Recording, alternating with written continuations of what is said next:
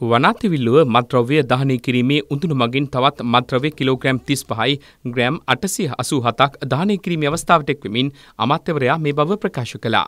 පොලිස්පති දේශබන්ධු තෙන්නකොන් මහතාද මෙම අවස්ථාවට එක්ව සිටියා.